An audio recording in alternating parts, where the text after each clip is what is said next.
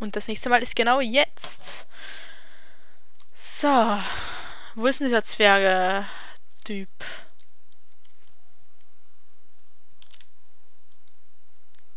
Oh, ich finde das aber so cool. Oh, hallo? Ah, Sind Sie nicht toll? Ich habe schon immer Zwerge gesammelt. Meine Familie fand es krank. Also habe ich nachgedacht und beschlossen, dass sich etwas ändern muss. Ich habe den Kontakt zu Ihnen abgebrochen. Jetzt zählen nur ich und die Zwerge. Sie sind meine besten Freunde.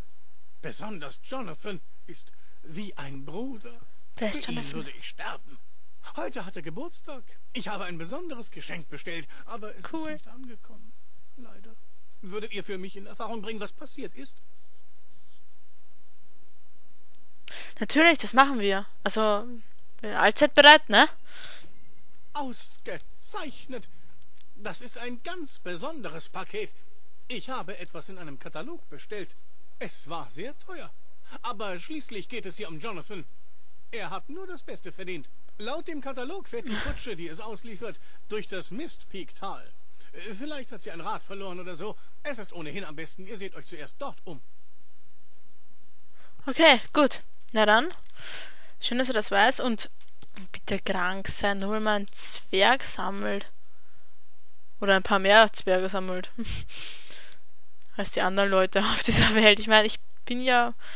Ob ich irgendwas sammle. Sammle ich was? Ich bin mir nicht sicher, ob ich was sammle. Ich, ich auf jeden Fall keine Zwerge.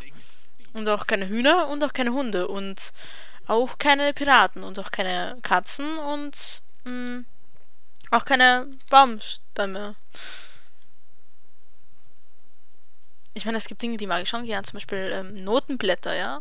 So, so Bücher, wo Noten sind, von berühmten Stücken zum Beispiel. Und da hätte ich auch gern mehr Teile. Oder zum Beispiel, was weiß ich, was sammle ich noch gerne? Statuen, ja. Aber, also so als richtig eingefleischten Sammler würde ich mich jetzt nicht bezeichnen, nein.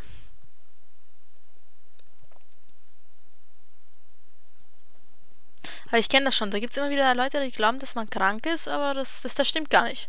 Und dieser Typ dort hinten ist nicht krank. Nein, der hat nur eine Pho also Phobie vor Zwergen. Er hat eine Phobie vor Zwergen, aber er sammelt sie. Nein, er hat einfach nur Zwerge gerne. So sieht's aus und das ist nicht krank. ja, man, einfach nur crazy, ja. Also in meinen Augen ist es nicht krank, aber krank, das kann man ja viele verschiedene Arten definieren. Wo ist denn dieses Mistpeak-Tal? Na, endlich. Wow, schaut sich mal das Bild an. Ist das nicht arg? Ching. Wow, ehrlich, die können so gut zeichnen. Und diese Ideen, die müssen dann erstmal kommen. Ja, wie dieser Alltag eines Game Designers aussieht, das würde ich echt gerne mal wissen. So, aber wir sind jetzt auf der Suche nach einer Kutsche. Rira rutsch, wir fahren mit der Kutsch über Stock und über Steine. Doch dabei bricht nicht die Beine. Oder irgendwie so war das, oder? Ich hoffe.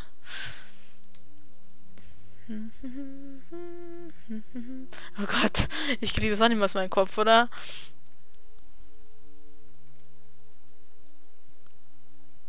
Aber warum dieser Hund nicht mitkämpfen will? Großartig. Das heißt, wir kriegen nichts außer unserem Lohn. Es gibt keinen Lohn. Uns hat keiner angeheuert. Was meint ihr? Wir sind verdammte Söldner. Und das bedeutet, wir handeln nur für Geld?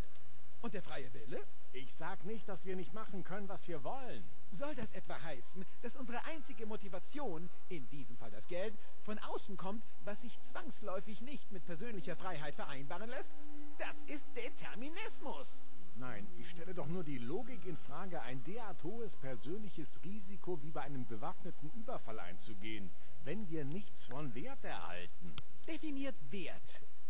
Der Überfall ist materiell vielleicht nicht von Wert, aber wie steht's mit dem Spaß, dem praktischen Training und der Erfahrung? Das stärkt unsere. Moral und unseren Kampfgeist. Dieser Wert lässt sich mit Geld nicht aufwiegen. Jo, Eddie. Na, ihr sprecht hier von einer moralischen Rechtfertigung. Ich stelle nicht Teleologie gegen Deontologie. Okay, ich habe genug gehört. Ich möchte jetzt einfach nur wissen, was ihr da Hier, getu sollen wir uns etwa habt. genau so lange nicht verteidigen, bis uns jemand anheuert, genau das zu tun? Nein, reich genug. Hört mal zu, ich habe vorher euer ganzes Söldner-Ding zerlegt. Wieso tut ihr so etwas? Ich möchte jetzt echt mal eine Erklärung, wenn mir der Seika sagt, dass ihr damit aufhört. Und wie viele seid ihr eigentlich? Guter Block. Oh ja, mach den. Ich meine ehrlich, das ist eine Kutsche und da braucht man... Das ist genauso wie wie viele. Söldner braucht man nur eine Glühbirne auszuwechseln. Ich meine, entschuldige, das ist eine ganz normale Kutsche. Das sind eins, zwei, drei Leute, die haben schon vor einem Söldner genügend Angst. Meine, was soll denn das? Eins, zwei, drei, vier, fünf Söldner? Habe ich das jetzt richtig gesehen? Aber hey, warte mal, da, da lagen davor gerade drei, oder nicht? Okay, das ist... Die verschwinden. Die sind echt cool, ja? Die können das. Ach, diese armen Leute. Aber ist doch auch cool, wie die da liegen, oder? Hat der eine Sonnenbrille auf? Tss. Was ist denn das für ein Riesenteil, bitte? Ein Gorgeli? Dieses Steinornament strahlt eine düstere Aura aus. Vielleicht ist es aber auch nur ein eine dünne Moosschicht.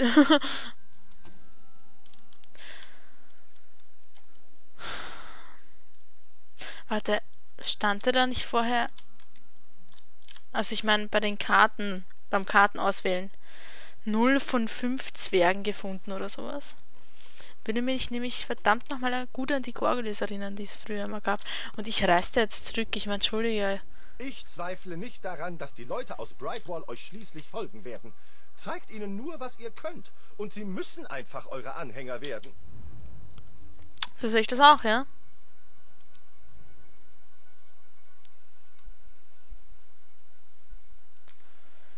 Na hopp.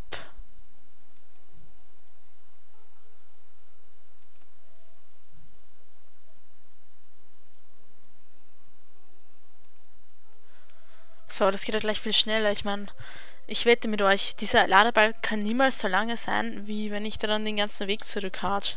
Niemals. Wenn schon allein nicht am Weg zwei Ladebalken auf mich warten.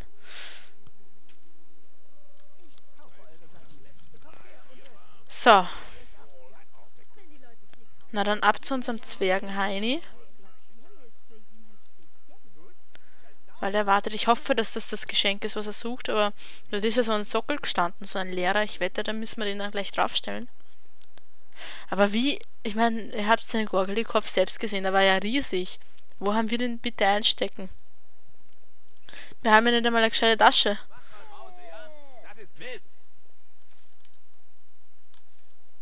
Mhm, klar. Ah. Ich finde es irgendwie schon arm, dass da die Leute sitzen und betteln. Aber wieso macht der Logan das eigentlich? Unglaublich. Oh, So. Jonathan wird begeistert sein. Ausgezeichnet. Oh, das Wer ist denn jetzt der Jonathan? brillant. Sag mir Oh, mal. Jonathan? Habe ich es nicht gesagt? Oh, Da das wird sitzt er bestimmt. Das wird einfach wahnsinnig überwältigend. Die Leute werden sagen, stimmt, das ist wahnsinnig überwältigend. Stellt ihn bitte auf den Ehrenplatz, ja? Natürlich. Also mal sehen. Hier ist die Warte, was machst du jetzt? Anleitung. Sorgt zunächst für einen angemessenen Ehrenplatz. Okay. Erledigt. Achtet vor allem darauf, dass eure Gartendeko überall ungehinderte Sicht auf den Gargoyle hat. Mhm. Gut.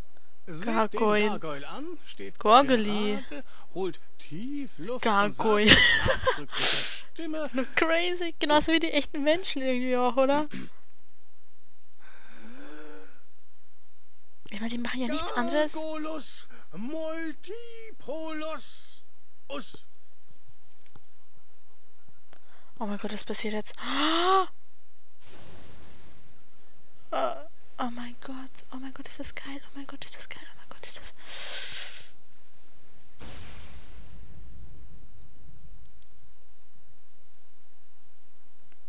Okay, ich bin geflasht, jetzt schon. Ohne Mütze aus dem Haus.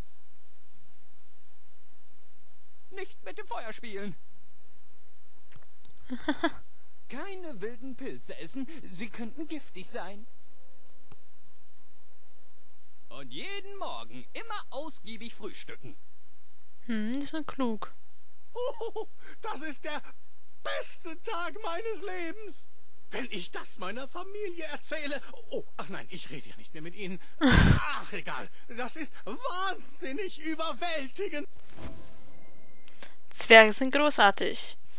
Ihr habt einen Garten voller Zwerge Leben eingehaucht. Eine Tat, die bestimmt auf gar keinen Fall irgendwelche negativen Folgen haben wird. Na, das hoffe ich doch wohl. Aber das erinnert mich voll.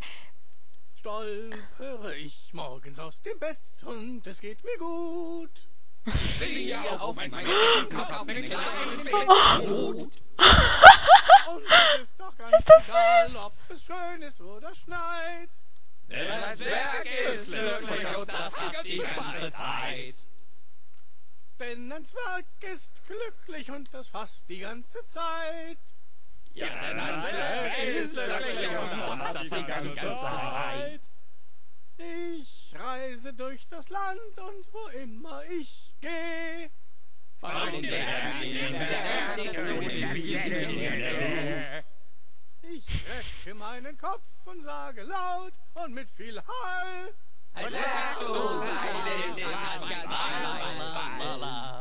Alle Zwerge rechts sagen, spitzer kleiner Hut. Spitzer kleiner Hut, spitzer kleiner Hut. Alle Zwerge links sagen, zwei Fuß groß. Zwei Fuß groß. Und noch einmal stolpere ich morgens aus dem Bett und es geht mir gut. Ich ziehe auf meinen Spitzenkopf mit kleinen Spitzenhut. Und Das ist einfach nur geil. Oh Gott. Ich liebe dieses Spiel und ich weiß, warum ich es liebe, weil es genauso verrückt ist wie ich. Verdammt normal. Ja, ehrlich, guckt euch das mal an. Das ist einfach nur Wahnsinn. Weil die Gorgelis, die habt es ja in Fable 2 auch gegeben. Und die haben aber so Sätze gesagt wie, hey, du findest mich nie. Oder irgend sowas, ja, total, äh, soll man sagen, so Sie- Sätze dich runterziehen und runtermachen. Ja, das, du glaubst, du kannst es nicht oder so. Und so wie es jetzt aussieht, hat er die Kraft zu reden von den Gorgolis auf die Zwerge übergeben, mit dem, was er getan hat. Und ich glaube, das hat auch was zu tun mit null von da da da Zwergen gefunden.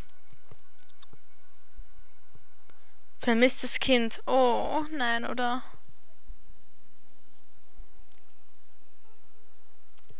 Verschwundene Stücke. Laumbert und Pinch brauchen Hilfe bei der Aufführung ihres Stücks in Brightwall.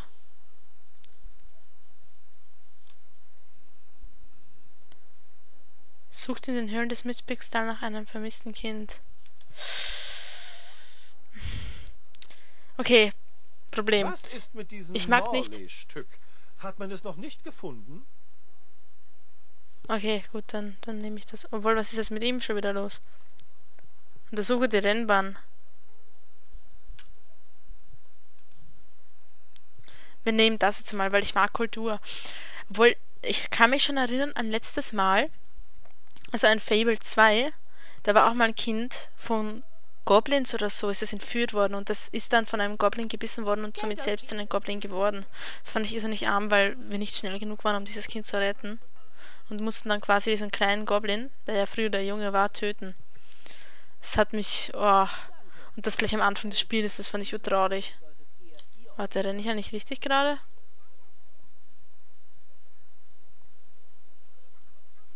Okay, so es aussieht, müssen wir sonst so zum Tor. Und das Problem ist, dass ich nicht weiß, wo das Tor ist. Ja, das könnte zu einem Problem werden.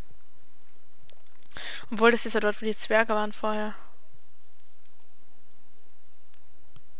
Können die Kugeln hier eigentlich auch was machen, außer mir zuzusehen? Würde ich jetzt auch irgendwie gerne mal wissen.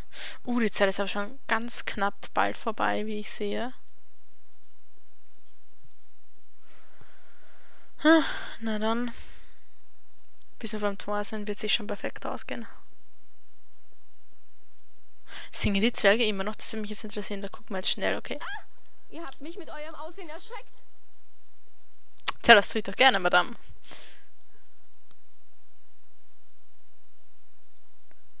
Weil das wäre cool, dann könnte man immer wieder herkommen und ihm beim Singen zuhören. Denn ein Zwerg ist glücklich und das fast die ganze Zeit.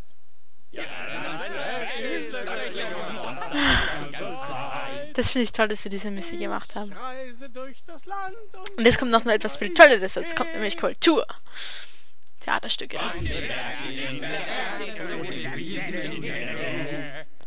Ah, Zwerge. Ihr, werte Dame, ihr, die ihr in so einer wirren Epoche lebt, dürstet euch nicht nach Drama und Emotionen einer korrekt strukturierten Tragödie? Natürlich nicht. Ihr wollt euren Sorgen entfliehen. Ihr wollt glücklich gemacht und erheitert werden. Sinnlos. Wir werden uns niemals einig. Ach, wenn wir doch nur Morleys Stück in die Hände bekämen. Es würde unsere Probleme lösen. Wer ist Morley? Es heißt, es vereint die Gegensätze von Tragödie und Komödie in einer exquisiten Verbindung der Formen. Vielleicht findet ihr es? Ja, wir flehen Ach euch an. bitte, was brauchst du dazu denn den Morley? Das könnt ihr euch auch selbst Seele lassen. dieser Stadt werden euch danken. Aber meine Güte, okay, machen wir. Aber erst im nächsten Part und deswegen sage ich auf Wiedersehen.